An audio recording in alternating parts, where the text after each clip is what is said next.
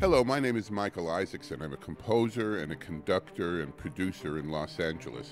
Each day, thousands of baby boomers are turning 65 and looking for new strategies to make their third act a brilliant culmination of lives well lived. Will they spend their later years productively and creatively? Who will be their role models? Theodore Bikel is 88 and busier than ever acting, singing, storytelling, and narrating. What's the secret of his longevity? Mel Lazarus is a nationally syndicated cartoonist whose Momma cartoon strip continues to charm us and make us laugh after almost 60 years.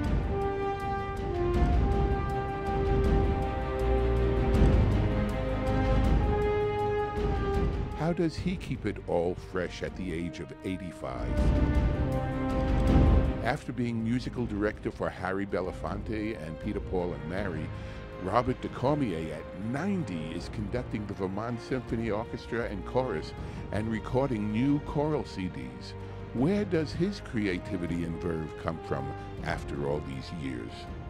At 83, Samuel Adler is a world renowned symphonic composer and Juilliard School of Music professor. How does he keep all the music coming?